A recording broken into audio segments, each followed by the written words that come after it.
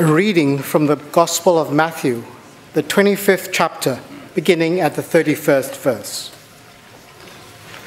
When the Son of Man comes in his glory, all the angels with him, then he will sit on the throne of his glory. All the nations will be gathered before him, and he will separate people one from another, as a shepherd separates the sheep from the goats. And he will put the sheep at his right hand and the goats at the left. Then the king will say to those on his right hand, Come, you that are blessed by my Father, inherit the kingdom prepared for you from the foundation of the world. For I was hungry, and you gave me food. I was thirsty, and you gave me something to drink. I was a stranger, and you welcomed me. I was naked, and you gave me clothing. I was sick, and you took care of me. I was in prison, and you visited me. Then the righteous will answer him, Lord, when was it that we saw you hungry and gave you food, or thirsty and gave you something to drink? And when was it we saw you a stranger and welcomed you, or naked and gave you clothing? And when was it that we saw you sick or in prison and visited you? And the king will answer them Truly I tell you, just as you did it to one of the least of these who are members of my family, you did it to me. This is the gospel of Christ. Chairman Hamilton, Vice Provost McCann, uh, Director Hayes, valued colleagues from the Toronto School of Theology, fellow bishops, devoted faculty, staff, fellows, and friends, distinguished honorands, and most importantly, graduates and their families. Welcome to the 138th convocation of Wycliffe College. This evening we celebrate the achievements of graduating class of 46 individuals who will cross this stage, who have satisfied the requirements for certificates and degrees at the master and doctoral levels. The journey for many of them has been long, expensive, and full of challenges. But we pray that the rewards exceed the satisfaction of this evening's accomplishment. For the greater reward is the gratification of seeing our gifts and learning used in the building of God's kingdom and of the glory of His Son. Indeed, it is our privilege this evening to hear about and celebrate some of the notable things God is doing. Raising up leadership in the Diocese of Caledonia, guiding Wycliffe College through the remarkable administrative gifts of its staff, proclaiming the truth of God's Word in a needy and frequently hostile world in a compelling way, and exercising the compassion of Christ among some of the globe's most impoverished. In all of these things, and in our festivities this evening, we recognize the generous grace of God, and we launch our graduates in the confidence that this good and powerful grace will continue to be at work in you. To all gathered here this evening, we would like to thank you for your prayerful support of the college and its work we regard ourselves as a beacon of light and truth in the center of the university. I want to be clear that I do not say this imperialistically, for the church is too culturally marginalized for us to adopt much of a swagger. But we have been entrusted with a word which remains forever. And we continue to rely on God's Spirit within our community as we seek to be faithful to God's calling. True faithfulness is often tested in a largely faithless generation. However, just as the experience of exile was creative for the Jewish people, so we are being called back to our roots in an encounter with the living God, to understand afresh our place in the divine plan, and to rediscover the riches of our tradition. As our society seeks to navigate the treacherous waters of a turbulent and rapidly changing culture, We ask for your continued prayers that our Christian witness would inspire others to imagine a city with firm foundations whose architect and builder is God. God bless our graduates, bless our college, and bless his church. Leaders and members of the evangelical, Anglican, and Wycliffe College communities, honorary graduands, members of the graduating class of 2018, and distinguished guests.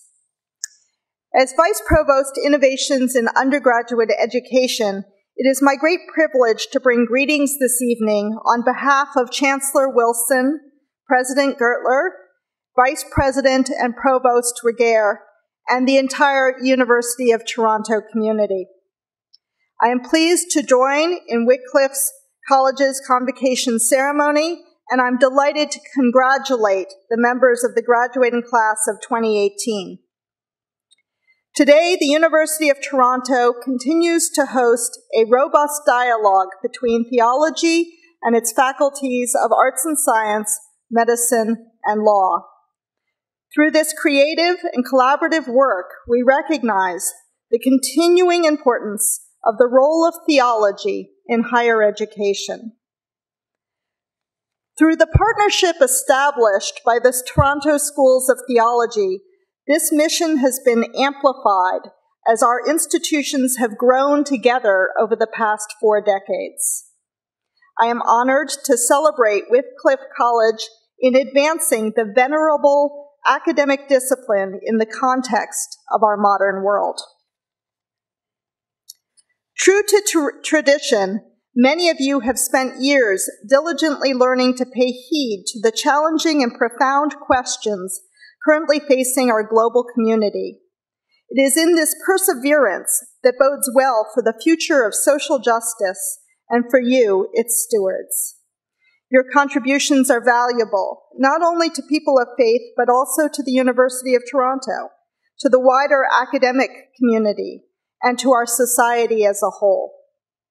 I would like to note one other important tradition being honored here today. Many of the today's graduates are receiving conjoint degrees, having been approved by Wycliffe, the University of Toronto, and Toronto Schools of Theology. Our conjoint degree recipients have the privilege of claiming membership in the alumni of both Wycliffe College and the University of Toronto. This provides a dual source of pride as you look back on this wonderful milestone in your lives. And to everyone graduating and being honored today, on behalf of the University of Toronto, congratulations on receiving, reaching this day and on the years of hard work and perseverance that it represents. I wish you success and happiness in the next chapter of your lives. Thank you. As we gather as a community, we wish to acknowledge this land on which the Toronto School of Theology, its member colleges, and the University of Toronto operate. For thousands of years, it has been the traditional lands of the Huron, Wendat, the Seneca, and most recently, the Mississaugas of the Credit River. Today, this meeting place is still the home to many indigenous peoples from across Turtle Island, also known as North America. And we are grateful to have the opportunity to work and to live on this land. David Thomas James Lehman Mr. Principal, distinguished guests, members of convocation. As his classmate and floormate at Wycliffe, it is my honor to introduce to you Bishop David Lehman. Bishop David was born in Toronto and raised in Fort Smith, Northwest Territory. He completed his BA in history at Camrose Lutheran College in 1990. While working on his MDiv at Wycliffe, he enlisted in the Naval Reserves. Upon completion of seminary, he was ordained and served in Fort Simpson, Northwest Territory. Throughout his parish ministry in the Northwest Territories and Alberta, he will actively engage in community initiatives, heritage projects, and fresh expressions of ministry. Bishop David is currently the Bishop of Caledonia and is writing his dissertation for a Doctor of Ministry at the Trinity School of for Ministry. I present David Lehman to receive the degree Doctor of Divinity jure dignitatis.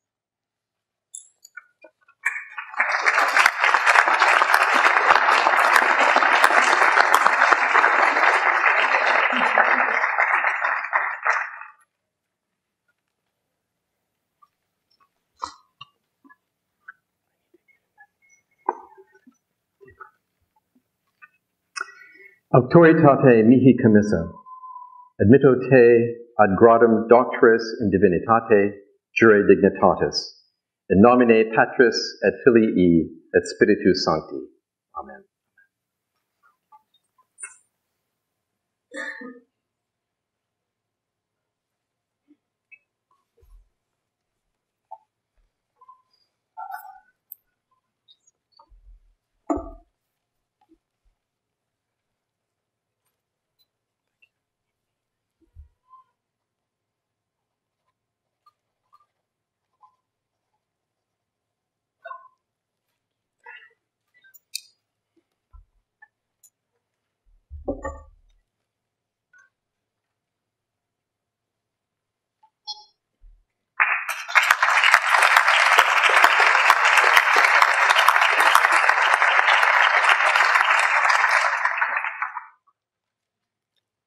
Fleming Rutledge. Mr. Principal, distinguished guests, members of convocation, Fleming Rutledge is a native of Franklin, Virginia, located in the historic Tidewater region. Years of living in New York have not erased that honeyed accent. She graduated from Sweet Briar College with highest honors in English. Shortly thereafter, she married a handsome U.S. Navy officer named Dick Rutledge, who has been her companion in many adventures across the decades. They have two daughters, Hayward and Elizabeth. Fleming's formative years coincided with the civil rights movement, and indeed a concern for justice for African Americans and other oppressed groups has been a hallmark of her preaching and theological writing. For a time, she was involved with a remarkable journal called Katallagete, or Be Reconciled, put out by an eclectic and racially diverse group of Southern U.S. Christians. Race in America is perhaps Fleming's prime example of the doctrine of original sin. Fleming's thirst for an intellectually formed and responsible faith led her to enroll at Union Theological Seminary in New York, where she studied with such luminaries as Paul Lehmann, Raymond Brown, Christopher Morse, and J. Louis Martyn. Martyn's apocalyptically inflected reading of Paul would be a decisive influence on her mature theology. She would go on from Union to become one of the first women ordained to the priesthood in the Episcopal Church. She served for 14 years at Grace Church in New York City, having a hand in that congregation's vital small group ministry, and has also served parishes in suburban New York and Connecticut. She has twice been a member in residence at the Center of Theological Inquiry in Princeton, as well as a visiting scholar at the American Academy in Rome. It would be easy to describe Fleming Rutledge's approach to preaching using a saying often attributed to Karl Barth, namely that the preacher should have the Bible in one hand and the daily newspaper in another. Fleming's sermons and the footnotes to her books do indeed abound in references to contemporary politics, literature, art, and film, which she skillfully uses to diagnose the ills of the present age. And yet the Bible and newspaper image does not quite capture it. For Fleming, it is less a matter of correlating the Bible and the modern world, and more about viewing the world through the lens of the Bible, employing what her beloved mentor Lou Martyn called bifocal vision. It is not the gospel that needs to be made relevant to our lives, but our lives that need to be made relevant to the gospel. To hear Fleming preach is to know that Jesus the crucified is alive and makes all the difference, especially for those whom the world deems to be of no account. She understands the biblical grammar of death and resurrection. Fleming's sermon collections include the Bible and the New York Times, and God Spoke to Abraham, and The Undoing of Death. They have won her a wide following among Christians of diverse traditions and confessions. She has won plaudits as a conference speaker, a blogger, a Twitterer, and an interpreter of the theology of J.R.R. Tolkien. Her magnum opus to date is The Crucifixion, Understanding the Death of Jesus Christ, which won Christianity Today's Book of the Year Award for 2017 and led to an invitation to appear on the Cardinal Archbishop of New York's weekly podcast. Not long ago, I had occasion to address a gathering of bishops of the Anglican Church of Canada. I told them they should read this book and have every priest in their diocese read it. I repeat this advice for the present gathering. Wycliffe College has been blessed to count Fleming Rutledge as a friend and supporter over many years. She has preached in our chapel, taught in our classrooms, and mentored our students. We wish she could stay with us longer on this visit, but unfortunately, she has to leave directly from this convocation to catch a plane to Calgary and thence across the Rockies by rail to Vancouver. We wish her Godspeed. Mr. Principal, distinguished guests, members of Convocation, for her lifelong ministry of preaching, teaching, and writing, and for her many other contributions to the upbuilding and mission of Christ's Church, I present Fleming Rutledge to receive the degree of Doctor of Divinity, honoris causa.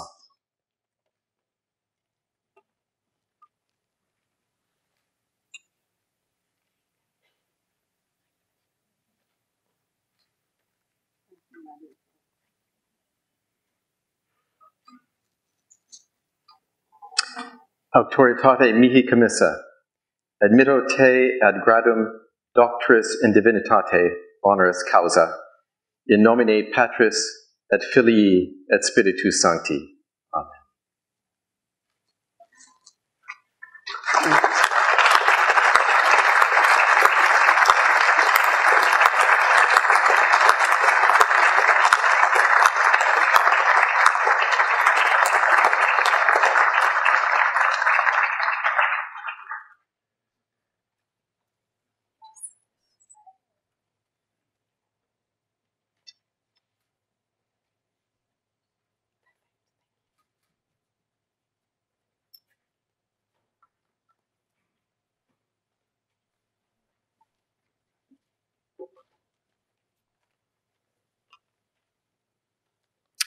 Wendy LeMarquand. Mr. Principal, distinguished guests, members of Convocation. In 2012, Grant LeMarquand was appointed Bishop of the Horn of Africa, and he and his wife, Dr. Wendy LeMarquand, moved to Gambela, Ethiopia, the poorest and least developed area of one of the poorest nations in the world. Here, among other things, Wendy established the Mothers Union Community Education Program. She taught women many of the simple things that can be done to save the lives of men, women, and especially children. Perhaps more importantly, she empowered those women to go back to their communities and teach those skills to others, thus multiplying her ministry a thousandfold. Before Wendy left Ethiopia last year, she was able to hand over the leadership of the Mothers Union Health Program to African leadership. Here is what one of those women wrote I give thanks to Mama Wendy because she really brought us the first seed. She opened the minds of the Mothers Union to make them aware about all these problems, where the sickness are from, and how they can save their children. So now many children will become alive because of what we have learned. These teachings will be help for us, and they will help our children and even to our grandchildren. We will keep passing on the knowledge to the generations. I am delighted and honored to present Wendy LeMarquand to receive the degree of Doctor of Sacred Letters honoris causa.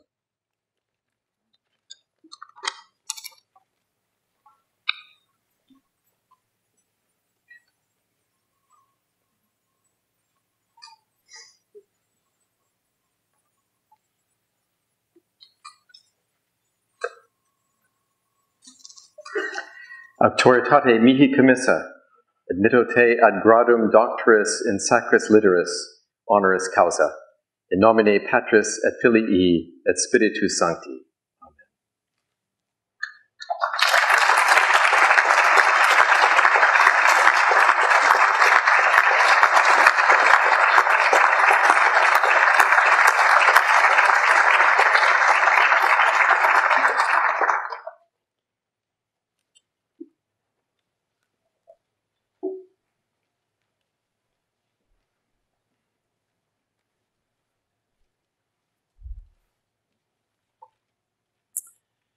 Peter Brian Patterson.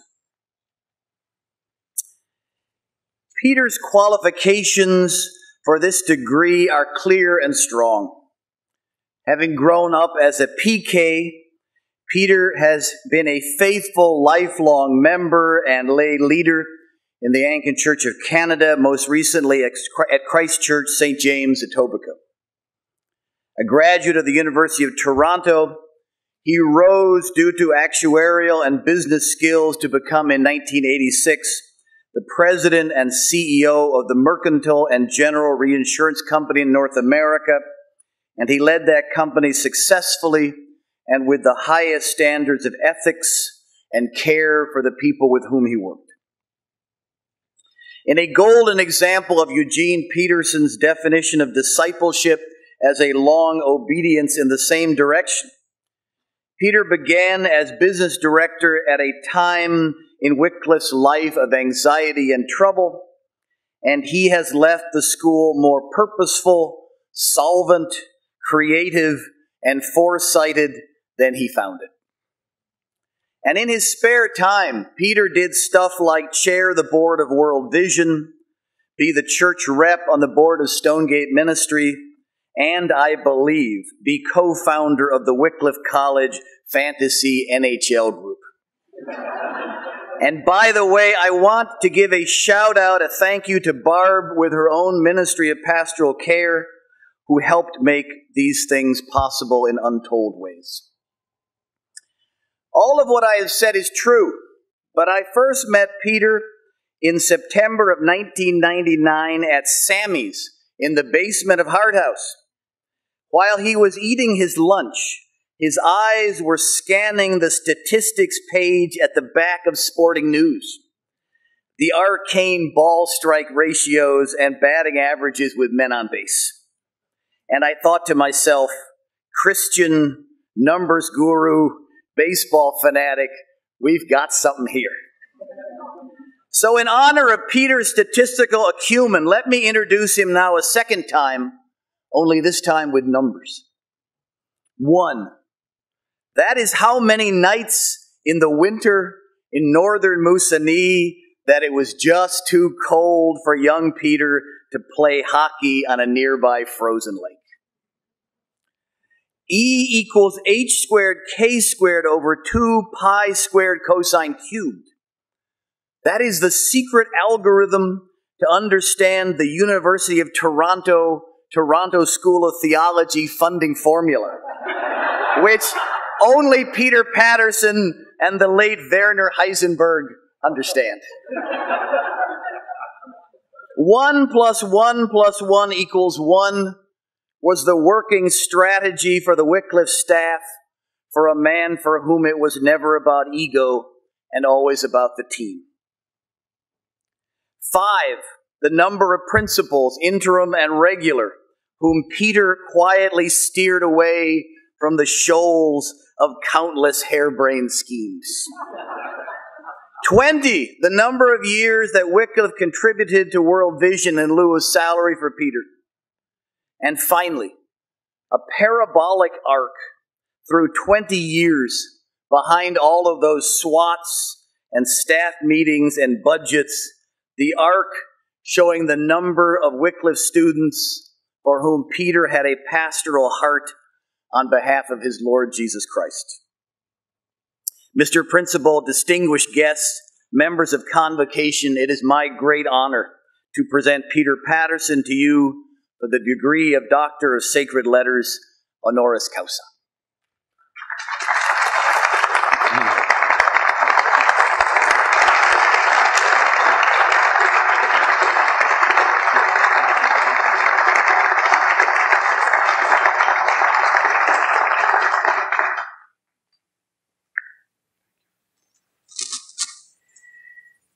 Auctoritate mihi commissa, admitto te ad gradum doctoris in sacris literalis, honoris causa, in nomine Patris et Filii et Spiritus Sancti. Amen.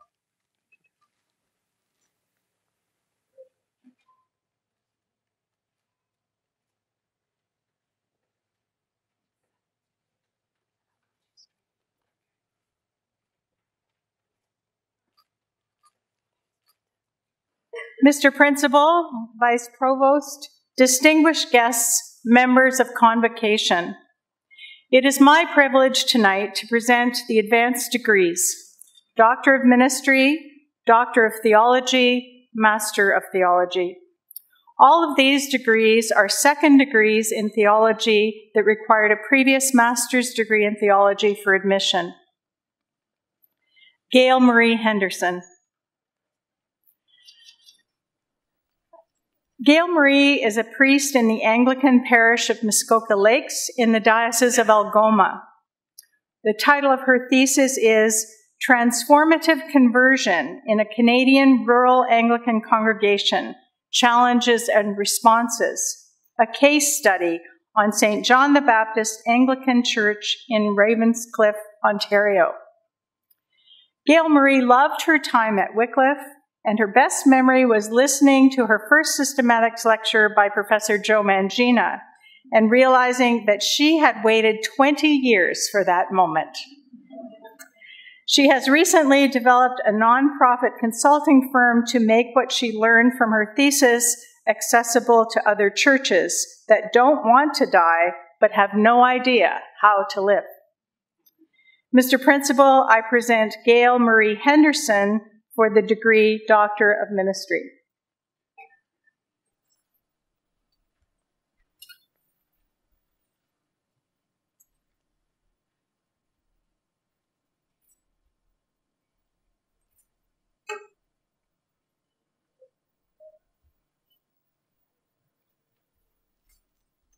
Auctoritate mihi commissa, admitto te ad gradum doctoris in ministries, in nomine Patris et Filii et Spiritus Sancti.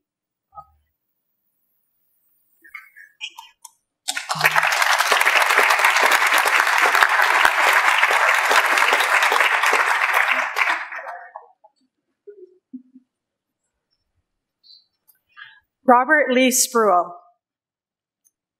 Lee is the rector of St. George's Episcopal Church in Nashville, which is a large, thriving church which seeks to foster a deep sense of belonging and which is a community where faith is received, lived, and shared. Lee's thesis examined the influence of missional communities on parish fellowship within St. George's Church, Nashville, Tennessee. Mr. Principal, I present Robert Lee Spruill for the degree Doctor of Ministry.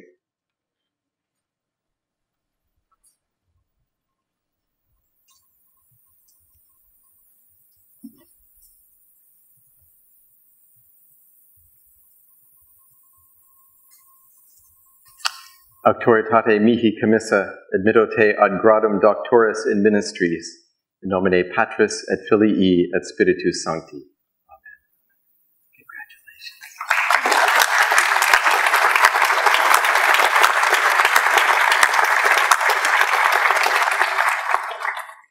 Jeffrey Bolt. Jeff is a longtime student at Wycliffe, where he lived and was active in the community and met his wife, Jen. He wrote his doctoral thesis under the direction of Ephraim Radner. The title of his thesis is From Butler to Thornton, a typology of conflicting readings of the two books of Scripture and Nature in the Church of England from the 18th to the 20th century. Jeff was ordained deacon in the Anglican Church of Canada yesterday and will be starting a curacy at Trinity Church, Streetsville in June.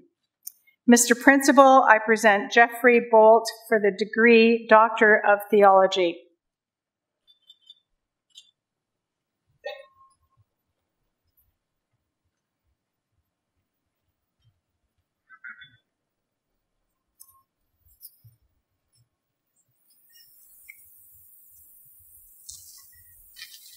Auctoritate mihi commissa, admitto te ad gradum doctoris in sacra theologia, in nomine Patris et Filii et Spiritus Sancti.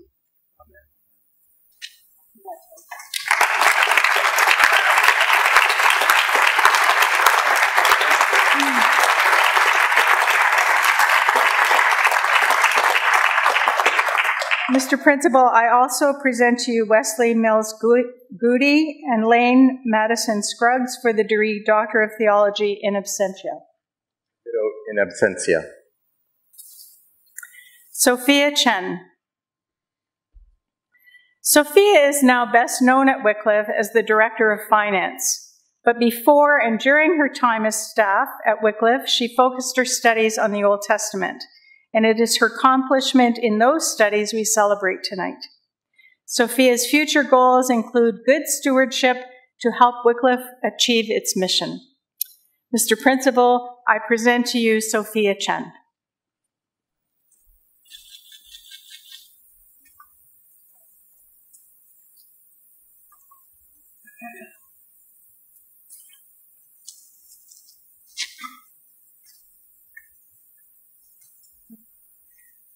Auctoritate mihi commissa, admitto te ad gradum magistri in sacra theologia, in nomine Patris et Filii et Spiritus Sancti. Amen.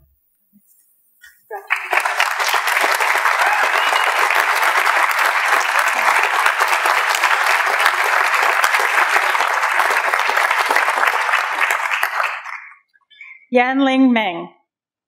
Yan Ling has been teaching in Nanjing Union Theological Seminary, which is China's only national seminary, for about 20 years. Nanjing Seminary is a lot larger than Wycliffe, as it has 500 full time students living on campus and about 3,000 in their correspondence program. Yanling plans to continue to teach at Nanjing Seminary in the future. Mr. Principal, I present to you Yanling Meng.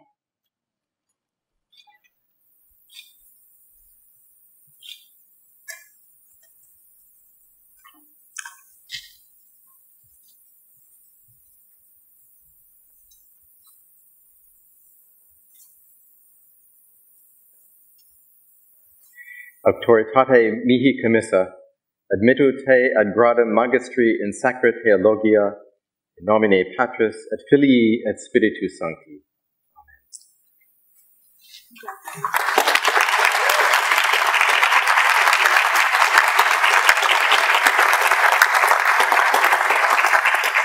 Daisy Ying Mei Mu. Daisy is especially interested in the subject of Old Testament ethics and her master's thesis examined how three contemporary Old Testament scholars, John Barton, Gordon Wenham, and Mary Mills, use Old Testament narratives in forming Christian ethics. She has already begun her doctoral program at McMaster Divinity College, where she is continuing to work in the field of Old Testament ethics. Mr. Principal, I present to you Daisy Mu.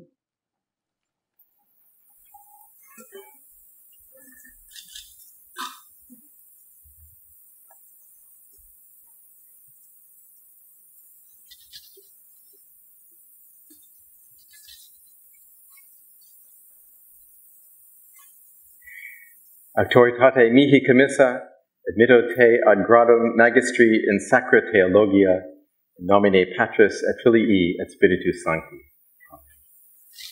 Thank you.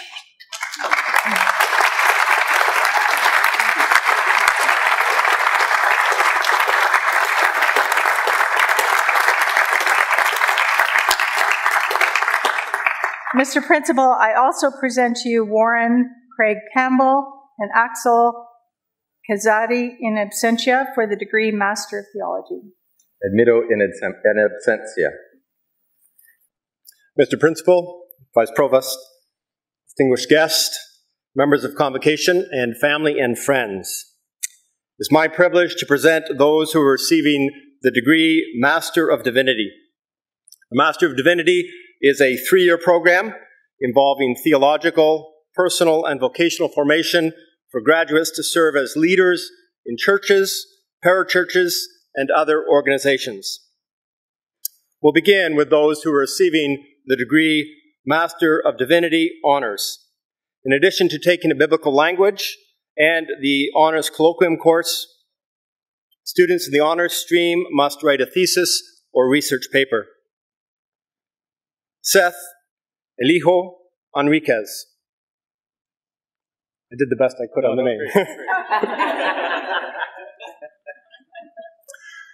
Seth is the recipient of the Bart Waters Memorial Prize for Creative Ministry.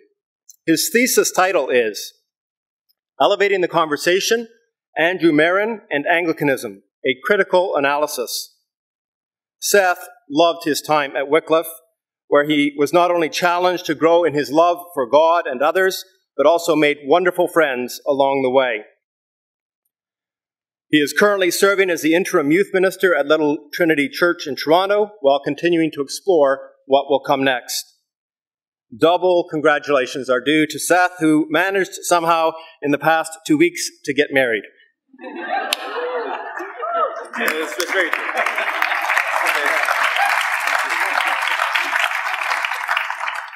Seth Enriquez.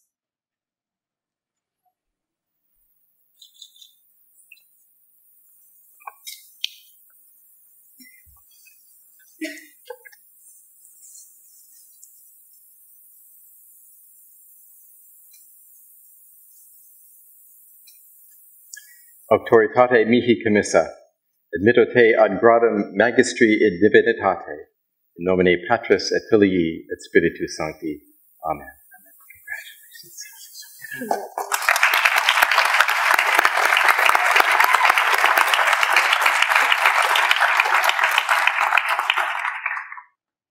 Alexandra Christine Pollard.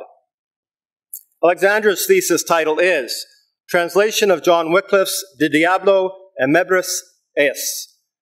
She is graduating in the Pioneer Stream and is the recipient of the Irene Brock McElren Memorial Bursary and the Frederick Bancroft Memorial Prize for Church History.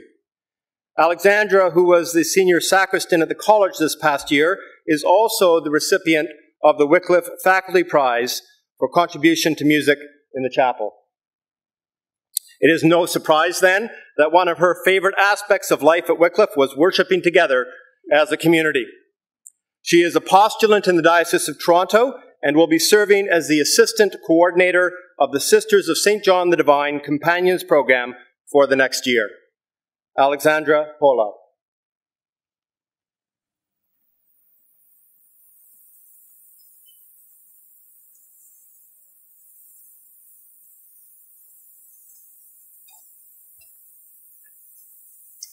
Pollard. auctoritate mihi commissa, admitto te ad gradum magistri in divinitate, in nomine Patris et Filii et Spiritus Sancti.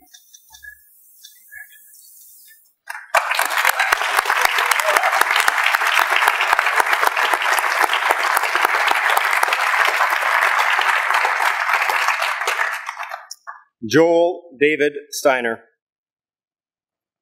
Joel is a recipient of the Systematic Theology Prize and the Archdeacon W. w. Fillier Memorial Prize. His thesis title is Preaching Christ's Abundance and the Scandal of God's Givenness.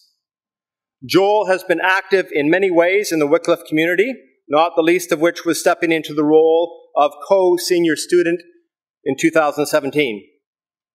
This past year, he has been serving in ministry at St. Matthew's Riverdale, ordained deacon last December, he will be ordained priest in the Diocese of Northern Indiana on June 23rd, but he won't be there very long. He and his family are moving to the Waterloo area as his wife, Kate, takes up a faculty position at Conrad Grebel. Joel Steiner.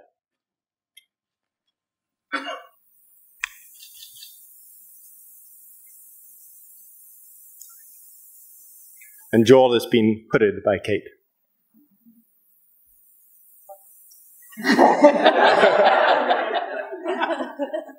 These things are complicated.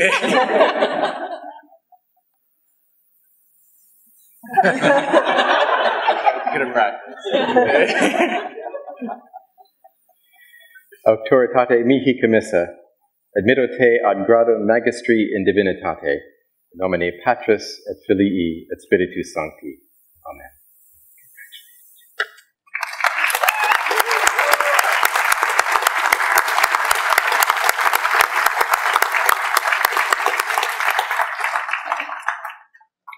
And now we will continue with the degree Master of Divinity. Daniel Young Choi. Daniel, who is graduating in the Pioneer Stream, is a recipient of the Stackhouse Award. Throughout his time at Wycliffe, Daniel has been very involved in ministry at Light Presbyterian Church. As a result, he often found himself juggling his studies with ministerial responsibilities.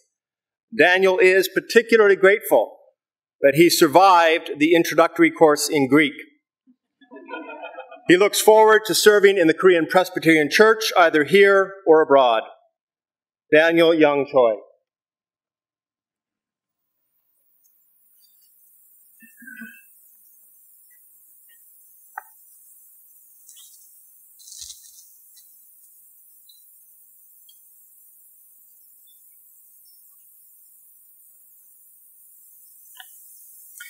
Auctoritate mihi commissa, admitto te ad gradum magistri et divinitate, in nomine Patris et Filii et Spiritus Sancti. Amen. Congratulations.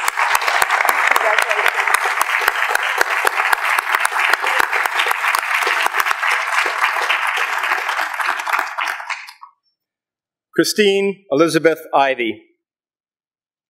Christine is a recipient of the Stackhouse Prize for Service and the co-recipient of the John McBride Memorial Prize for Evangelism. This past year, she was the vice president of spirituality on the Student Council and served in many other ways in the Wycliffe community. She is currently serving as a pastor of discipleship at Holy Trinity Thornhill as she continues to explore what comes next. She looks forward to working in the church with a focus on discipleship, evangelism, and small group ministry. Christine Ivy.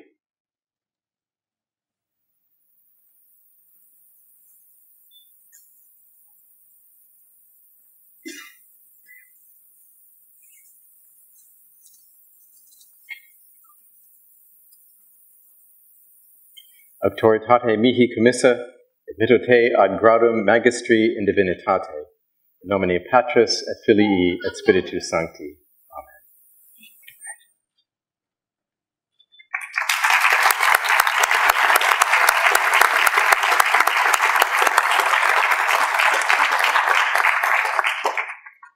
Kenneth Michael Johnston. Ken is a recipient of the Evangelism Prize. It's been a long journey for Ken, with lots of juggling of responsibilities of family, ministry, and school. Double congratulations are due to Ken, who was ordained deacon at St. James Cathedral yesterday.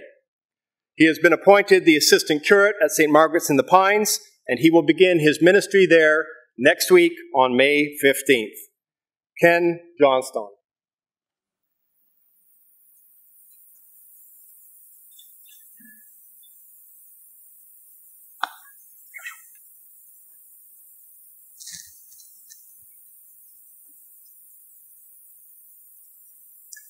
Auctoritate mihi commissa, admitto te ad gradum magistri in divinitate, in nomine Patris et Filii et Spiritus Sancti.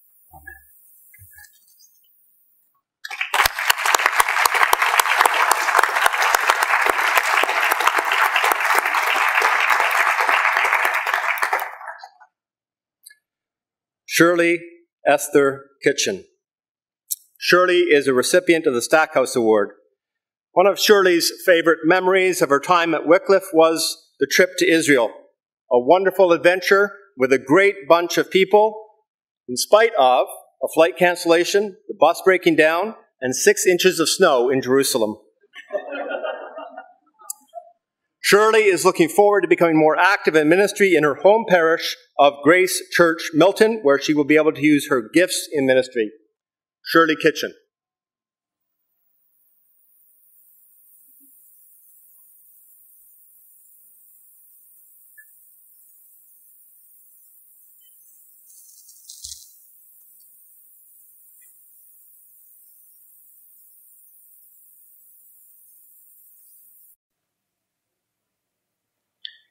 Auctoritate mihi commissa, admitto te ad gradum magistri in divinitate, in nomine Patris et Filii et Spiritus Sancti. Amen.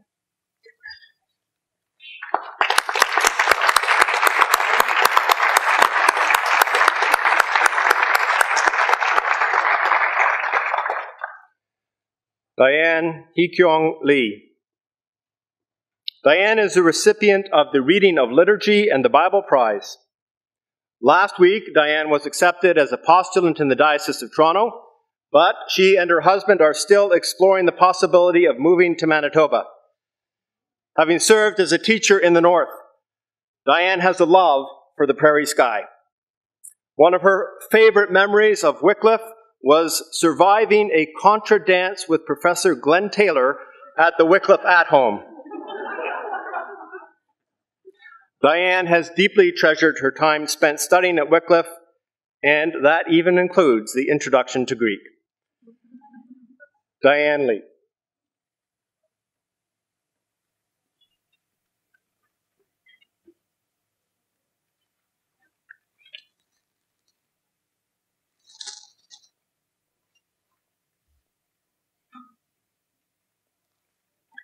Auctoritate mihi commissa, admitto te ad gradum magistri in divinitate, nomine Patris et Filii et Spiritus Sancti.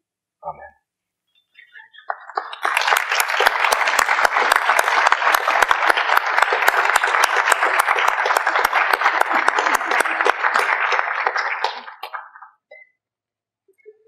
Joan Elizabeth Morris.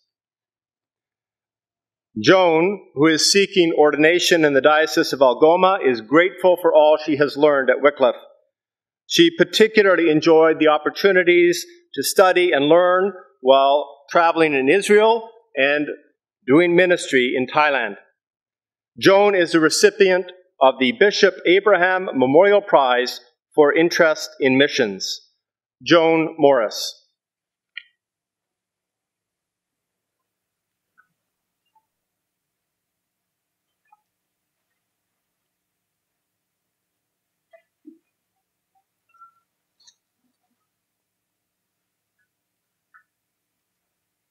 Auctoritate mihi commissa, admitto te ad gradum magistri in divinitate, in nomine Patris et Filii et Spiritus Sancti. Amen.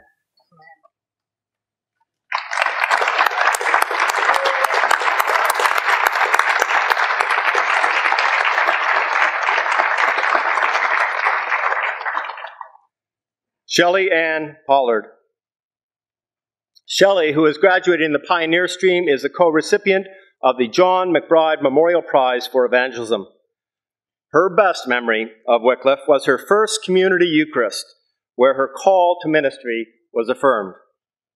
Shelley was ordained yesterday at St. James Cathedral, and she will be beginning her ministry as an assistant curate at St. John's, York Mills, tomorrow morning. We hope she gets a good night's sleep. Shelley Ann Pollard.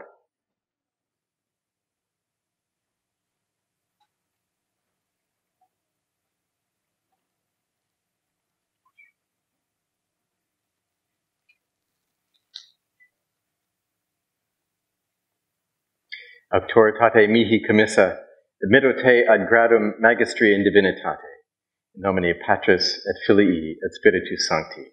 Amen.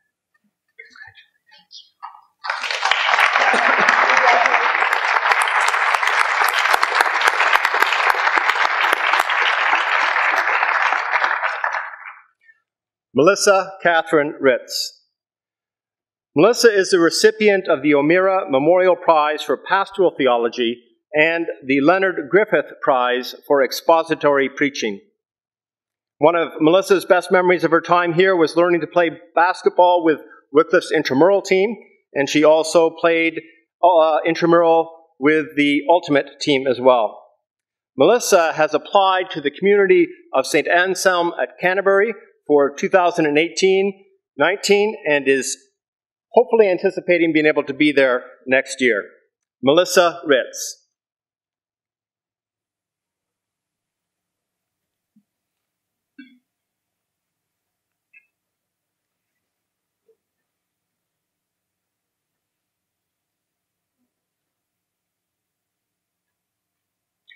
auctoritate mihi commissa admitto te ad gradum magistri in divinitate. In nomine Patris et Filii et Spiritus Sancti. Amen.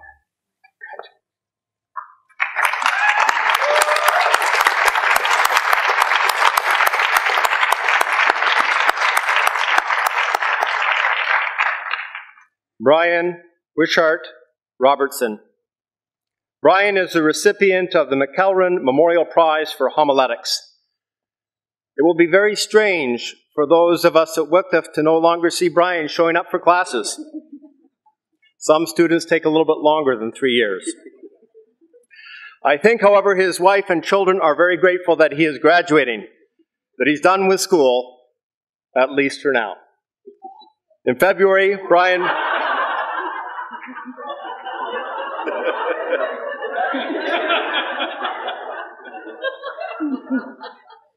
In February, Brian began a new position as the lead associate pastor at Seven Oaks Alliance Church in Abbotsford, BC.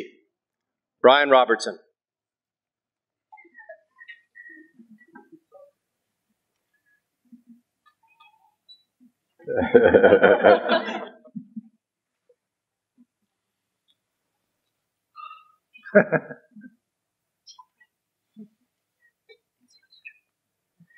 Auctoritate mihi commissa, admitto te ad gradum magistri in divinitate, in nomine Patris et Filii et Spiritus Sancti.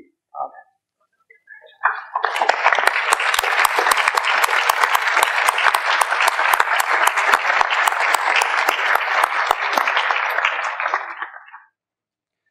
David Blair Smith. David is a recipient of the W.D. Thomas Memorial Prize. He was ordained deacon in 2001 in the Diocese of Ontario before he even began his MDiv. He continues to serve in the Morning Star mission, which he helped found 16 years ago.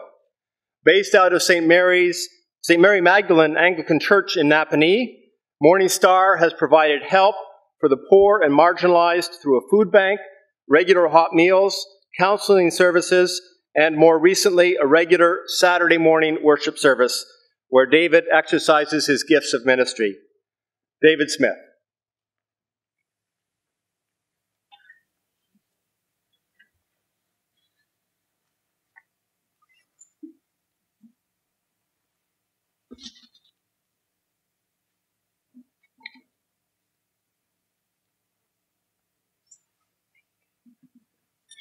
Auctoritate mihi commissa, admitto ad gradum magistri in divinitate.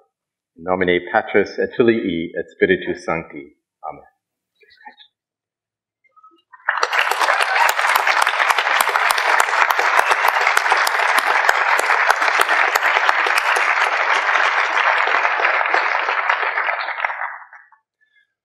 Mr. Principal, in absentia, I also present George Russell Westgate.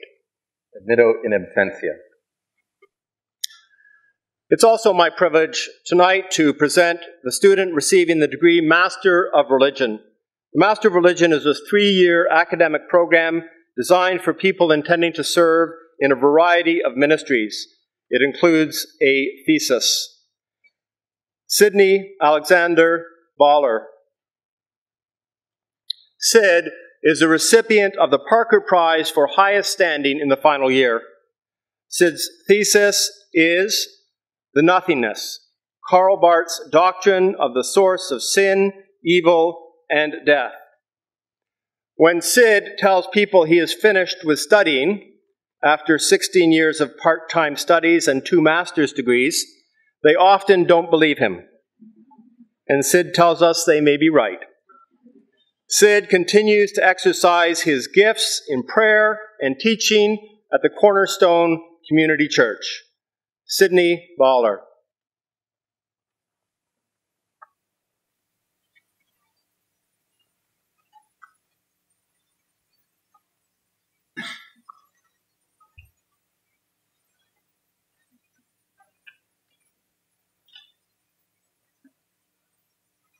Auctoritate mihi commissa, admitto te ad gradum magistri in religione, in nomine Patris et Filii et Spiritus Sancti. Amen. Principal Andrews, Madame Vice Provost, graduates, families, and guests. The Master of Theological Studies degree, with its urban community development stream, invites students into engagement with the dual worlds of theology and development, Bible and justice. This MTS stream seeks imitation of Jesus' own nature and of his performance of holistic mission among the vulnerable and the marginalized of the empires of every age. Students in the MTSD, on the one hand, take the core credits of the MTS degree, and on the other hand, a set of development theory and practice requirements. Joanne Luella Beach. Joanne joined the MTSD program a long time ago, near its beginning in 2011. For the past seven years, consistently and persistently, term by term, she has commuted from Ancaster to Wycliffe. Joanne is director of the Global Justice and Compassion Team for the Christian and Missionary Alliance in Canada, and yet she has somehow managed, with passion and energy, the numerous strands of a full life. More than once, I recall, from the other side of the planet, Joanne has Skyped into class in the middle of her night while on another of her international work trips. Joanne will continue to do that as she continues her leadership role in Canada's international development world. Joanne is the recipient of the S.H. Blake Prize. Joanne Beach.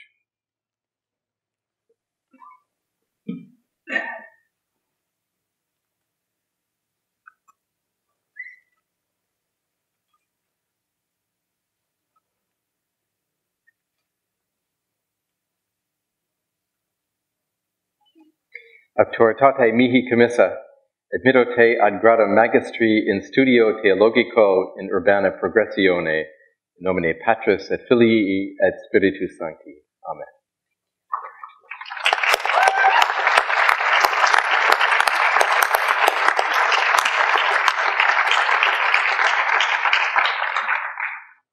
Courtney Ann Reeve. Courtney joined the MTSD program as an MK with substantial international and cross cultural experience. She has blazed new trails while at Wycliffe with her collaborative research with Becca Sawyer and Brian Walsh, and with more new trails promised by what's ahead. This despite heartbreak, severe concussion, and burning down her house. Personal disasters which the Wycliffe community, all of you, all of us, she says, provided safety, love, grief, support, and healing for her, as a genuine community of Christ. Courtney's summative exercise delivered a thesis in the form of a proposal to her church community titled Finding Home, a community based research design proposal for the building of a Free Church MB intentional community.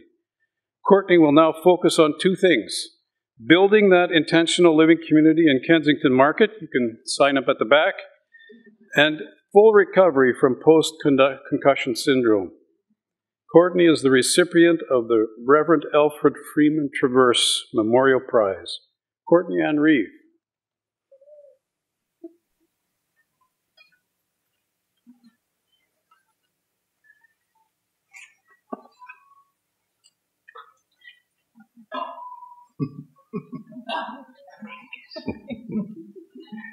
Autoritate mihi commissa, admittote ad gradum magistri in studio theologico in urbana progressione, in nomine Patris et Filii et Spiritus Sancti.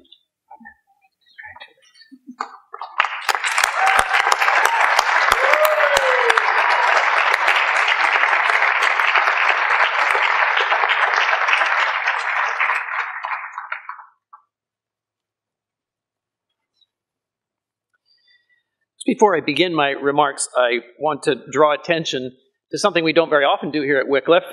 Uh, over in the corner here is a group of faculty from other schools at the Toronto School of Theology who have given up their night to come and represent their institutions and also to represent their partnership with us in uh, the Toronto School of Theology. So I wonder if you might just stand up and we'd uh, be glad to give you a round of applause and to say thank you for coming. It's a very generous gesture on your part.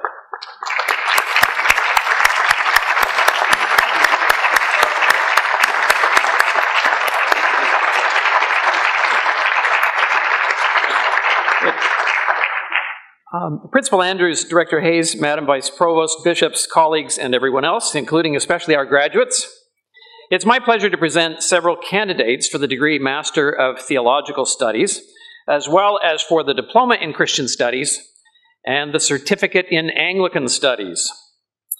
For the degree Master of Theological Studies, uh, first up is Andrew Theodore Ronald Badgley. Andrew attends St. Bartholomew's Anglican Church here in the Toronto area, and his best memories of Wycliffe are singing in the choir for lessons and carols and on other occasions. He was very active in the life of the chapel. He served on student council for one year and also as the sacristan for another. He plans further studies in the area of theology, namely in patristics, and he's the winner of the Philosophy of Religion Prize. Mr. Principal Andrew Badgley.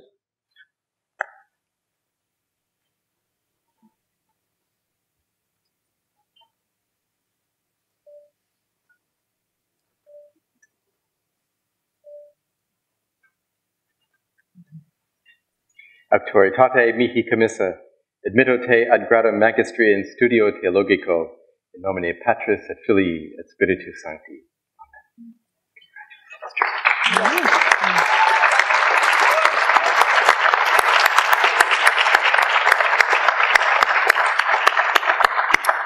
Ryan Ball.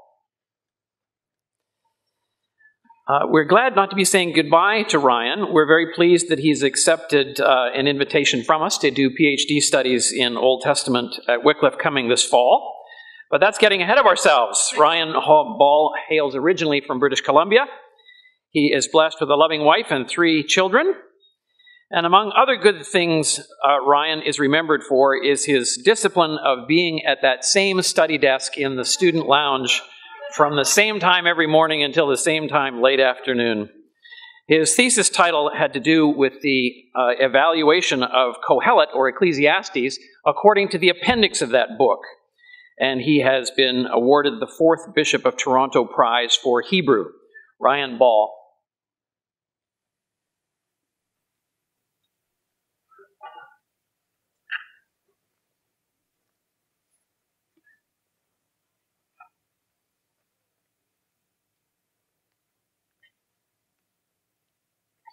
Auctoritate mihi commissa, admitto te ad gradum magistri in studio theologico, in nomine Patris et Filii et Spiritus Sancti.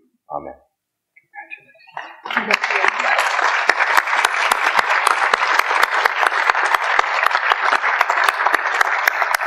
David, David Michael Dixon. David, too, comes from BC originally, his home church is the Cornerstone Christian Community Church in Markham. David is married and has two daughters. Highlights for David included what he calls certain aha moments in class when he learned something uh, new and um, provocative. Um, he was interested mostly in theology and history in his time here. And for any faculty who are tempted to think that they have a lasting influence on the lives of a student, he noted he was here for seven years. He had 18 classes and 12 different instructors. So any influence we have is modest by that scale. His thesis is called Theological Idealism, Political Reality, and Martin Luther's Vision of Authority in God's Two Kingdoms. And his future plans are unclear, apart from continuing to be what I'm sure is a good dad and father and a faithful Christian. Mr. Principal David Michael Dixon.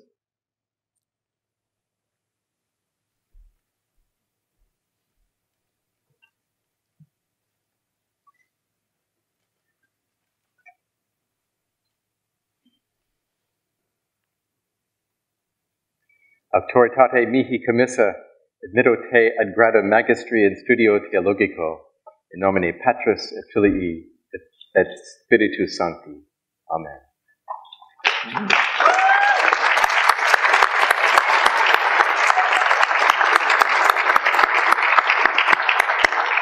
Jose Luis Dizon. Uh, Lewis, as we call him, attends Midland Park Baptist Church and I can say from many interactions with Lewis that he is a gifted young scholar. It's not surprising, therefore, that he has been accepted into a PhD program in the Department of Near and Middle Eastern Civilizations at the University of Toronto, and he has been awarded a Stackhouse Prize. Mr. Principal Luis Dizon.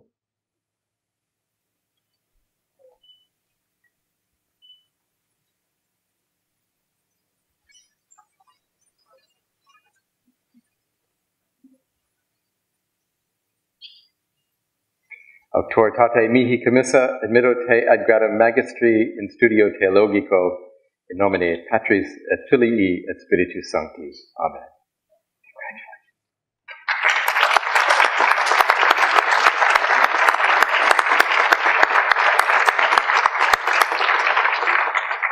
Michael Martin Chester Reardon. Michael attends a church called, literally, the local church in Toronto. And as I learned that, I wanted to say that many of us attend one of those, but it's actually not that one. This one is in Carnforth Road in North York. His thesis title was The Pneumatic Agape as Ecumenical Ethics, a case study of Nicholas Zinzendorf and his community at Herrnhut. Uh, he has a lesson to share from Professor Mangina, and that is he was grateful to have been taught to engage charitable readings of theology rather than overly critical and polemical ones. God willing, he'll return to Wycliffe for PhD studies this September, and he's the recipient of the John E. Gibson Memorial Prize for Ecclesiology. Mr. Principal Michael Reardon.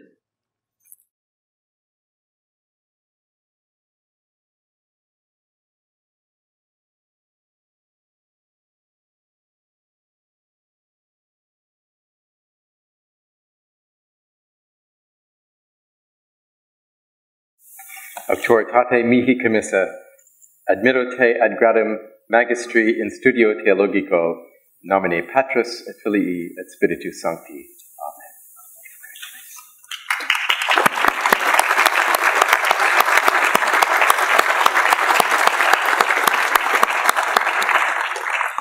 Amen. Anandaraja Sinadurai. Ananda attends York Minster Park Baptist Church which in my experience is about as close as one can come to the Anglican Church of Canada while remaining a Baptist. Anandara has fond memories of Wycliffe, which include daily chapel services, community meals that are free, and that every professor begins his or her class with prayer.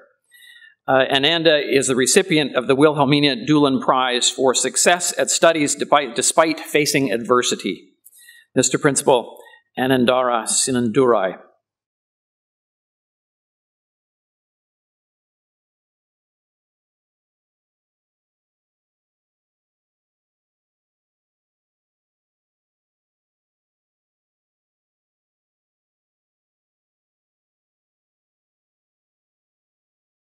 Auctoritate mihi commissa, admitto ad gradum magistri in studio theologico, nomine Patris et Filii et Spiritus Sancti. Amen.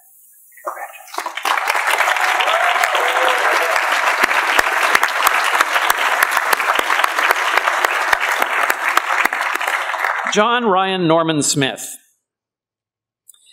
Ryan's thesis title was Jesus Christ, the Old Testament and Revelation Divine Transcendence in Irenaeus and the Problem of the Novelty of Christ.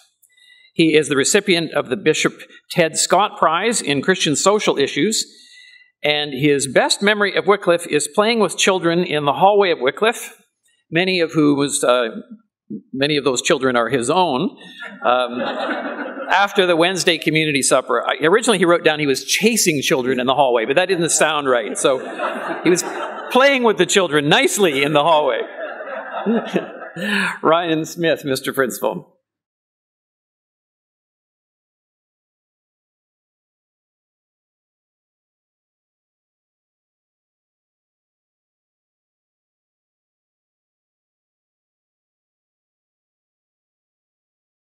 Auctoritate mihi commissa, admitto te ad gradum magistri in studio theologico, in nomine Patris et Filii et Spiritus Sancti. Amen.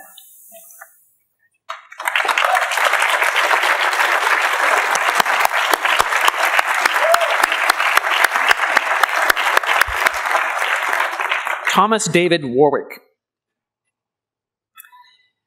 Thomas David Warwick uh, comes from St. Augustine's Anglican Church in Lethbridge, Alberta, which is one of the more special churches to us. We have a long history of receiving students and welcoming them, welcoming them from St. Thomas's in Lethbridge.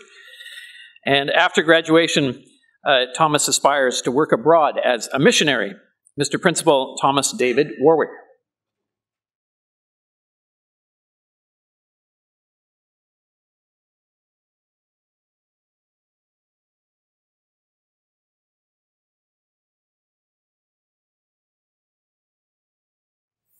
Auctoritate mihi commissa, admittote ad gradum magistri in studio theologico, in nomine Patris et Filii et Spiritus Sancti.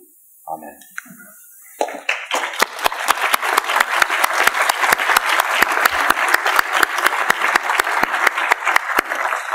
Clark Andrew Whitney. Clark has uh, been involved most recently with the Free Church of Toronto, which is Mennonite Brethren. He is the recipient of a Stackhouse Prize, and his thesis title was And They Will Dream Dreams on the Relation of Aging to Calling. His future plans are to age well, to listen in community for God's ever present calling, uh, I introduce to you, Mr. Principal, this young, ageless person, Clark Whitney, for uh, the degree.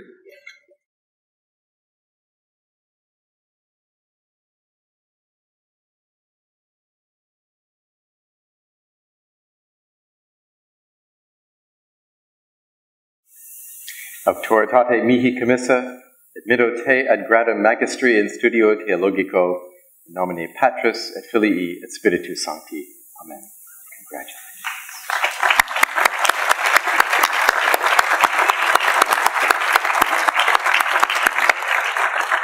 Mr. Principal, there are several people on the list to receive this degree in absentia, namely Robert Kevin Irish, Juan Sebastian Maldonado Latorre, Kai Kalizia Nakazwe, Julie Barbara Shore, and Rob Leonard Sykes. Admitto in absentia. Thank you. Moving to the Diploma in Christian Studies, uh, we have one person here tonight in that category, and that is Mary Catherine Cully. Mary's uh, church is the Keswick Presbyterian Church. Uh, and in her comments, she listed many reasons to be grateful to Wycliffe, including such things as providing overnight accommodation at Wycliffe, um, hearing the singing of our recently departed staff member Josephine as she did her cleaning work, and interacting more closely with professors than she had ever been able to do previously. Upon graduation, she aspires to do community work in Keswick in association with both her local church and the local government. Mary Catherine Cully.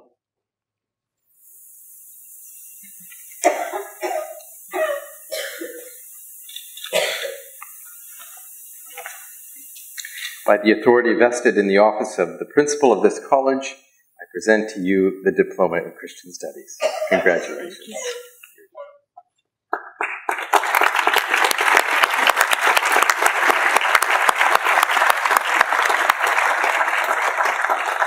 And finally, for me, Mr. Principal, are two recipients of the Certificate in Anglican Studies in absentia James Paul Detrick and Roy Abraham Thomas. Admitto in absentia. Thank you. Mr. Principal, it is my pleasure to present the non graduating students receiving prizes. Jordan Durston is recipient of the Major E.A. Hetherington Memorial Prize in recognition of the senior student. He's also receiving the David Crane Memorial Scholarship for Homiletics. Jordan Durston.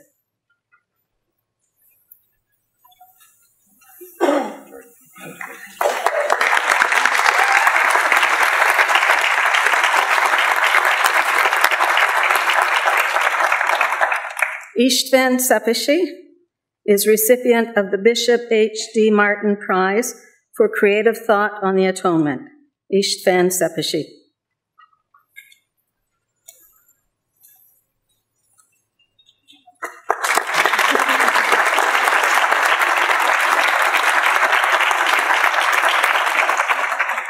Amita Mansurari Richardson is recipient of the Starkert Felder Hauser Memorial Prize, Amita Richardson.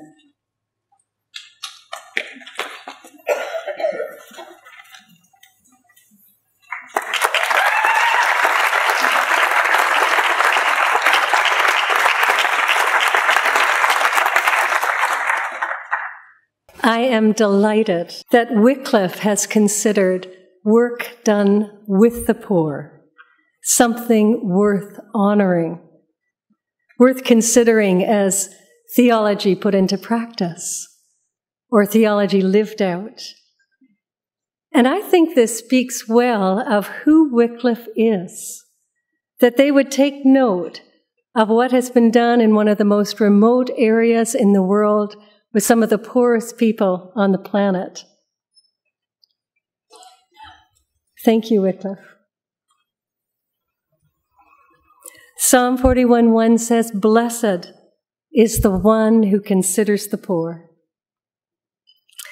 For the last five and a half years, it's been my privilege to live and work in Gambela, Ethiopia, right next to the border with South Sudan where I had the opportunity to teach women about health. Tonight, I'd like to speak a little bit about who these people are, what their lives are like, how this work of teaching and empowerment came about, and also a little bit about the place of faith in cross cultural teaching. And in doing this, I'm hoping to give you a glimpse of the beauty and the worth of the poor and how enriching it can be to get to know and to love them. This first picture was taken soon after the civil war in South Sudan broke out in December of 2013. Our area, Gambela, Ethiopia, became flooded with refugees. The latest UNHCR states well over 400,000 refugees have come into this area where the resources are already stretched thin uh, to breaking point, more than doubling the population. And it was beautiful to see the people in Gambela, all of them, open their homes and share the little that they had with the newcomers.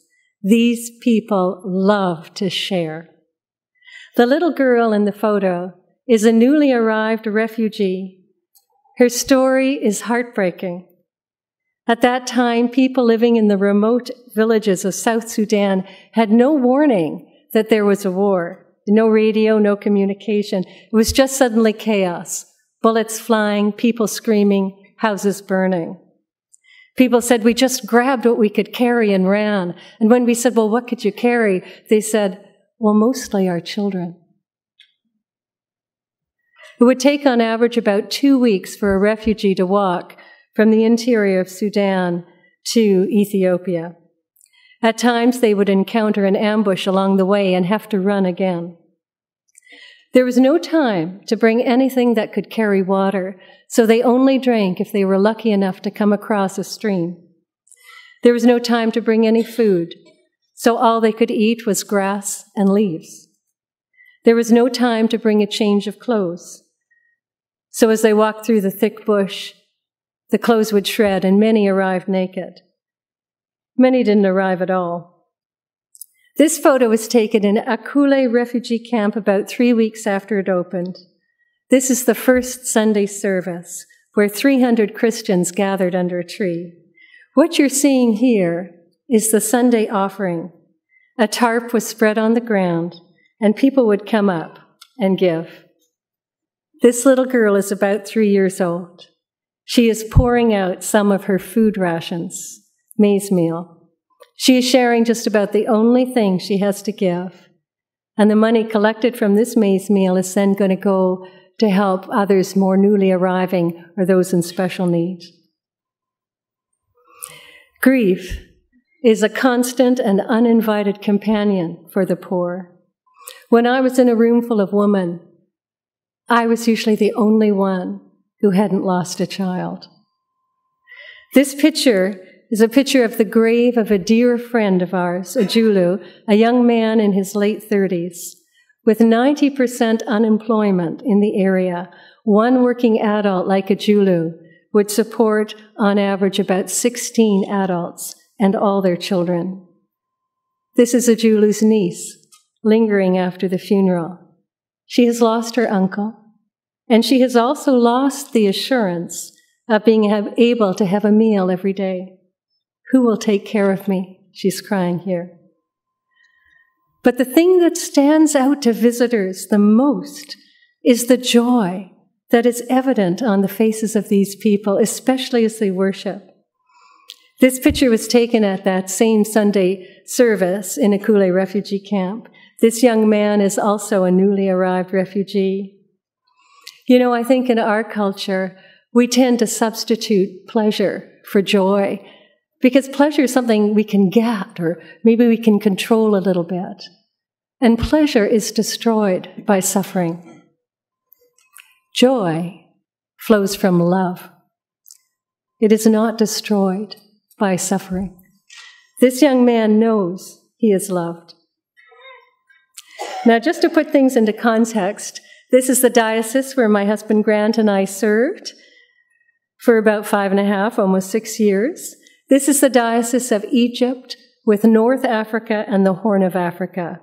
You know, most countries have many dioceses. Our diocese has many countries. Tunisia, Libya, Algeria, Egypt, Ethiopia, Eritrea, Djibouti, and Somalia. My husband Grant was area bishop for the Horn of Africa and responsible for the work of the Anglican Church in those last four countries that you can see here Ethiopia, Eritrea, Djibouti, and Somalia. You can see the, um, the Gambela region circled up there. It's a little area, this, the, the part of it, the little area surrounded on three sides by South Sudan was uh, where we lived and where I got to work with the women to teach health. When I arrived in Ethiopia, I was greeted by the women of the church, most of them members of Mothers Union, and they said, Oh, you're the bishop's wife. You're head of Mothers Union. And I said, Thanks. Tell me what you do. And they were telling me how they visited the sick and the bereaved. And then I said, Well, tell me, what do you want to do? What are your dreams? And what they said to me was, Help us to help our children. So as I went about from place to place talking with the women, I began to find out what their day to day living situation was like, and also what the issues were that they struggled with, especially the health issues. And as part about learning uh, about life in this region, I did a survey of four representative villages. I sent out two of our African priests because I didn't want to get the polite answers uh, to the questions. Um, that they would reserve for visitors. So, what I found out was that on average, a woman would have nine to 11 pregnancies. And out of that, only two to four children would live beyond the age of five years, most of them dying very young from easily preventable illnesses. I had learned from time spent in Kenya that more lives could be saved by empowering women to know the simple things that can be done to prevent and treat illness, rather than by simply giving the same medicines for the same disease and sending the folks back into the same environment with the same risk. And if they're lucky enough to survive, they'll come back again with the same disease. So when the women said to me, Help us to help our children, I had a good idea of what might be most helpful. Of course, I love curative care. But I knew that if I really wanted to make a difference, I would also need to teach prevention and to empower women to know what they could do for themselves and for each other. Now, none of the women in the area had had any opportunity for schooling. So I couldn't teach, you know, like fact A, fact B, fact C. They're very intelligent women, but they'd never had the opportunity to learn how to learn in that way. So instead, I made up stories and drew pictures, and with drama and with a lot of laughter, we would um, learn about one or two health concepts, uh, choosing the ones that were most important to the women. Then, after the teaching, the women would get together like you see them here in a small group and help each other to remember the story by using the pictures. Then what they do is they take a tiny collection every Sunday, just, just a few pennies, and with it they'd buy some coffee. And then they would walk out to a village, and this is Ethiopia. So they start an Ethiopian coffee ceremony. And as they roasted the beans, the aroma would draw the women, the men, no matter what religion, they'd all come. And then the women would say, Well, would you like to attend a teaching? So, in this way, every week, they would reach 140 people this week, 80 people the next week, 100 the next, and they're still going strong. Now, about a year after this program was up and running, our major donor, donor uh, Anglican Aid Australia, came to visit to find out how the program was doing. So he asked the priest of these women here, he asked Darash, the year before the program was up and running, how many children's funerals did you hold? And Darash said, Well, I held 50, an average number. And then Eddie asked him, Well, how many children's funerals have you held now that the program's been up and running for a year? And Darash said, I've held none. And Eddie said, Why? He says, Well, it's the program. So I went to Darash. I said, You've got to be kidding me, from 50 to none. Tell me more. And he said, Well, you know, um, the women watch those who go to the program, they see their children are healthier, so they want to learn. But also, the women say, now knowledge has given us choice. Before, we would only have to go to the witch doctor, and he would gouge out the two unerupted teeth in the baby to release the evil spirits. And then the babies would be so swollen and in so much pain, they wouldn't nurse and they would die. They say now, we know things that can stop sickness from coming, or if it comes, we know how to take care of it. We can pray. We can go to the Mother's Union for advice and prayer. But the thing Darash said to me that touched me the most was he said, The women are coming and they're saying, No one has ever cared for us the way you have. And we want to know this Jesus who sent you. This, the program started by bringing women from all over the Gambela region, sometimes taking about up to a week to travel. And I would teach them something together. These women, the ones that were chosen, were chosen because they had a heart to share what they'd learned with others in their community. So then they'd go back to their local areas and share what they had learned. After three years, we were able to transition to a fully African led program. So now they're teaching in nine uh, local teaching centers spread out throughout the region so they can reach more women, and women um, don't have to travel as far. Um, let me just get this. Sorry. Okay. After the local program had been going, this is now after the African led program had been going for about a year, we, um, we were listening to the report that the African leaders were giving about the things that they had started to teach in the program. And I wanted to read you in their own words some of the things they said. So this this first one is um, Rebecca speaking about uh, malaria. This is what she said. Many children died. So now we learned how to prevent and how to treat malaria, especially about how to prevent the malaria, because no one considered that the malaria came from mosquito. No one thought about it. So when it gets a rainy season like this, you can even sit and eat with your children. You make a fire and put some neem twigs in the cooking fire and let it smoke. And the mosquito will not like the smoke of neem. It will go away. Also, you can make a mosquito net. You put it there. Don't let the children sleep without it. You see, the people thought that they were being given these mosquito nets because mosquitoes make an annoying sound at night. So they said, Oh, we thought it was just to keep the mosquitoes out of our ears. So if you've got this choice, you know, mosquitoes in your ears at night, or this is a great net to use for fishing or tying your house together or something, well, what are you going to choose? But now, as you can see in this picture, they're using the mosquito nets um, to save the lives of their children. Uh, and that's the star of the drama, The Mosquito. Uh, our um, Anuak leader, Achwa, chose to focus on nutrition for the first part of her program. We worked with 10 people groups, and um, the Anuak was only one of those. And this is what she uh, wrote. Actually, she started talking about water first, so I'll tell you that too. Many children are dying below five age. People, they know the problem is there, especially diarrhea. Many children are dying in the Gambella region. Now, the teaching was very, very interesting for anyone. They love it too much. But I'll go on about the nutrition. Another story that we taught is about the wise woman, that woman who fed her children.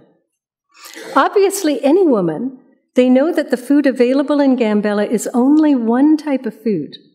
Now we know that to give them different types of food is very important. Children will be strong, even the family will be strong. And many people are interested about the help of the moringa, moringa tree. It is now obvious people are using it because they know the benefit. Any person now has moringa in his home. This helps with every disease. How many of you know the moringa tree? Well, it's an amazing tree. In the leaves of the moringa tree, there is so much nutrition. It's, it's, a, it's a fabulous source of vitamin A and vitamin C and all the B vitamins, niacin, thiamine, riboflavin, B6, B12. It's a huge source of folate, a great source of iron, a source of calcium, potassium, magnesium. It's a complete protein. It has every single essential amino acid, every single essential fatty acid, every single essential trace mineral. It has everything needed for complete nutrition, except vitamin D, which you get from the sun. And there it was growing wild in our area. So um, Achwa's goal was that every household plant one moringa tree at least, and indeed they did it. This picture uh, was taken when we visited the Opo, one of our people groups, and in the front you can see that as this woman is grinding this rock hard corn called maize, she's adding in some green stuff in the corner, and those are just moringa leaves. So when we went to visit the Opo, what we saw was that no children had red hair, which is a sign of iron deficiency. And none of the children had those big fat bellies, which is a sign of protein deficiency.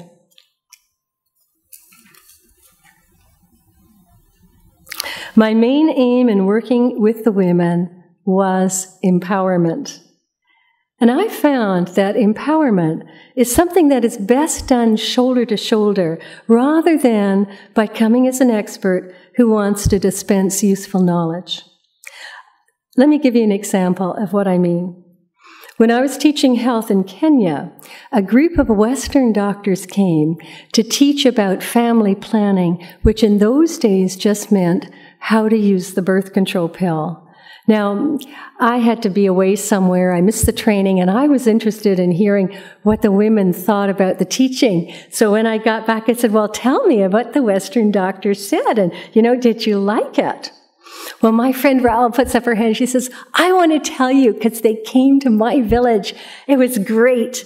So I said, okay, tell me what they said.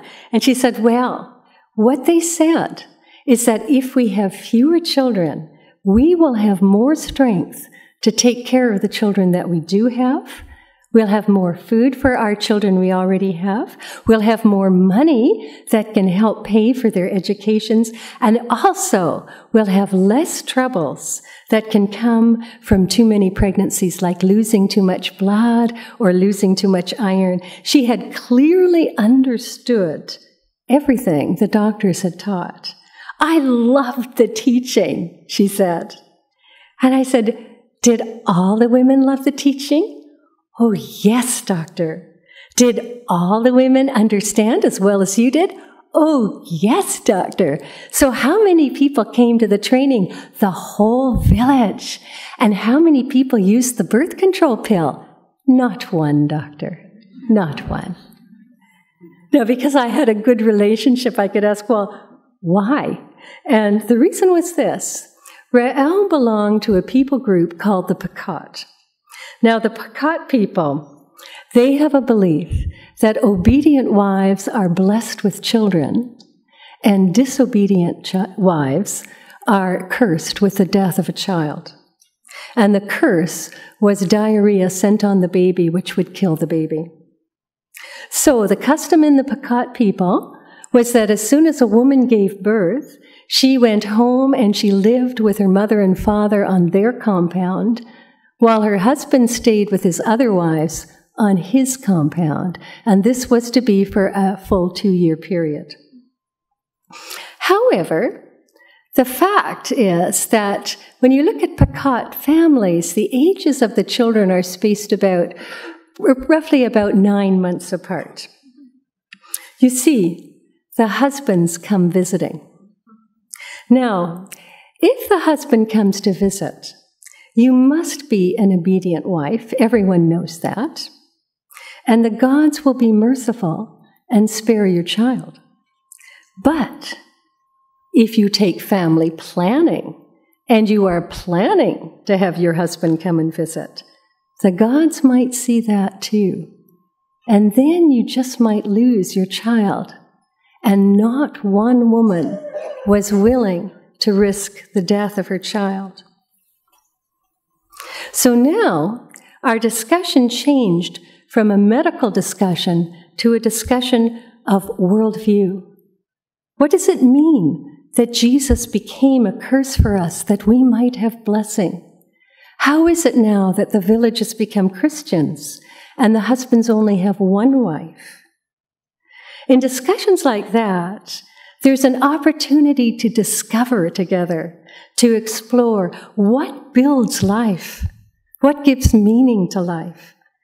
How do we choose wisely, given our situations, given what we have at hand, given our beliefs? What do we believe?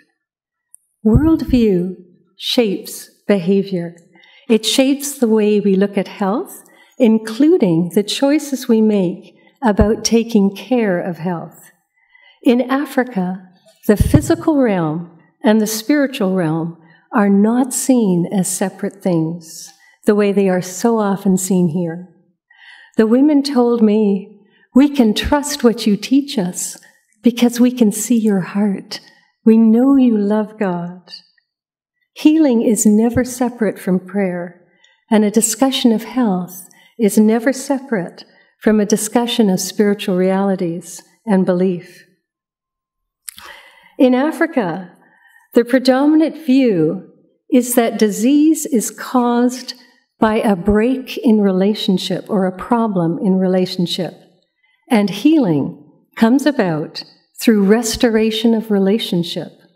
This is why traditionally people would go to the witch doctor who would do something in the spiritual realm in order to bring healing into the physical realm. He would do something to restore relationship. In the West, the traditional view of medicine, certainly what I was taught in medical school, was that disease is caused by a disorder of function, and healing comes about through restoration of function. It was interesting as we studied the book of Genesis to find that both of these approaches to health resonate with the biblical worldview. In Genesis, we see sickness and death coming through a break in relationship with the source of life. And then later on in the story of redemption, we see restoration coming through restored relationship. Jesus said, I have come that they may have life, and this is life, that they know you, the one true God, and Jesus Christ, whom you said, whom you sent. In the study of Genesis, we also see a mandate have dominion. we were to take charge of and to take care of creation. To study, to understand, to take care of creation in making medicine and in taking care of the body is good stewardship of God's good creation. Revelation 21 24 says, All nations will bring their glory into the new creation. All that is good from every culture, all that enhances and blesses life, is of great and of lasting value. In our area in Gambella, there is a crisis in worldview. There is a loss of the grounding wisdom of the elders. Through war and displacement, the people would say, Our beloved elderly, they couldn't run as fast from the bullets. And with the poverty, poor nutrition gives shortened lives. Many times I heard, I think we used to know that, or I think my grandmother used to do that. And now the women were hearing fragments of confusing and contradictory ideas that were coming home with their school children or that were coming across the radio. And all of this contributed to a hunger to know on what can we base our lives. Tell us what the Bible says about life, they would ask.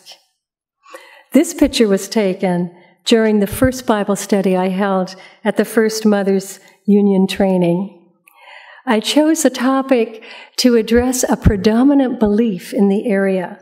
And the belief was if my child dies, it's because God wanted him to die. And there's nothing I could or even should do about that. So we looked at the prayer that Jesus taught us to pray, Thy kingdom come on earth as it is in heaven. And as we looked at Genesis and Revelation, we saw that with God, in the fullness of His kingdom, we ultimately don't see sickness, suffering, want. As we looked at the book of Philippians, concepts, as they would say, as it says, a partnership in the gospel, a participation in the Spirit, when we looked at a mutuality of love in relationship, both honored and honoring, the women's faces began to light up. This is the kingdom he wants us to pray for? Do you mean it gives God pleasure that I should help my child? This picture shows the discovery of joy that's beginning to light their faces. And it is this joy, this caring, this compassion that is taking these women every week into village after village to share with respect, with love, with humor, how to care for the health of their children and families. And this is what we're seeing in Gambella the gift of beautiful, healthy children. Thank you.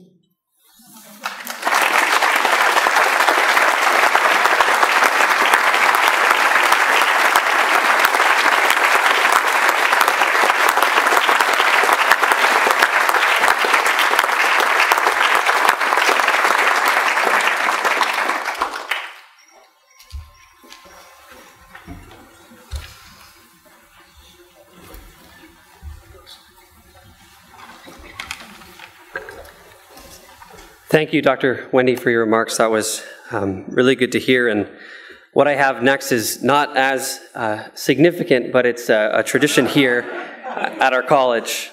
And uh, this stick that I hold here is what's known uh, as the senior stick at Wycliffe College. And the bearer of this stick um, is the senior student for one academic year at the college, meaning that they're head of student council. Um, and they serve the student body they serve the faculty and the staff and administration. And among the busyness of this past year, um, it's been a joy to serve uh, the college and a joy to serve as a senior student. And now I bequeath this stick and pass on this role to you, Ruth. I'm going to uh, begin the blessing first in English and conclude in Ojibwe. The peace of God, which passes all understanding, keep your hearts and minds in the knowledge and love of God and of His Son, Jesus Christ our Lord. Gaye, Jowen Mishanan Gichi Manado, Nosanan, Gaye, Wegbisamen, Gaye, Wenajashid Manido, Gaganig, Gaye, Gaganig, Mige in. Amen.